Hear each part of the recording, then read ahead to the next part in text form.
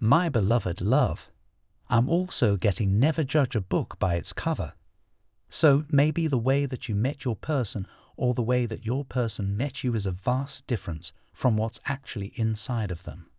Okay, and by kind of peeling back these layers, you have identified your soulmate, you know, your twin soul. This is very, very beautiful.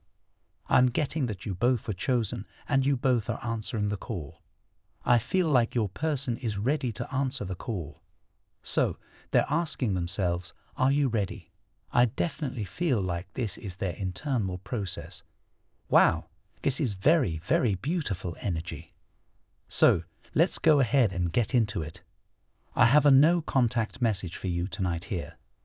So, this message will be for Divine Feminine who's currently in no contact with your person and you just want to look into how they're feeling at this time. So, I'll be pulling a few cards from this deck here just to see how your person is currently viewing you and or your connection at this time, okay? Let's go ahead and get into it. Let's get the first message here.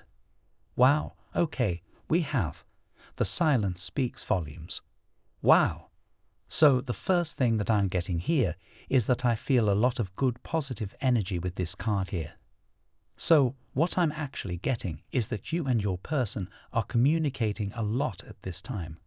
You may be communicating energetically, but I'm definitely getting that your silence is not really silent.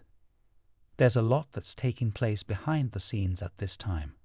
Okay, and your person wants you to know that they're trying to read into what this means at this stage of your connection. Okay, I definitely feel like the energy is rising. Your person may definitely be feeling a little bit anxious. They may be wanting to communicate with you because the silence at this stage is very, very loud for them. They feel as if you're trying to send them some type of message.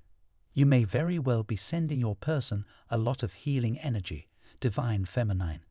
I really feel like you may have just gone through an emotional purge and your energy is coming across very well, just very calm, like you have a very calm disposition at this time.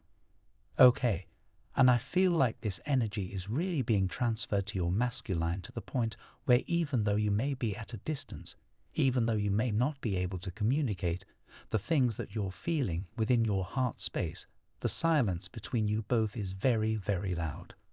I'm getting a very intense energetic bond, okay, where you both have different ways of communicating with one another. And overall, I'm getting the universe has a way of communicating with both of you, letting you know kind of how the other person feels. Okay, so yeah, I'm getting a very powerful connection where even if it's silent, you know, your silence is never really silent. It's actually very, very loud, okay, very powerful. Let's get the next message here. Wow, exactly, we have, I can feel your energy.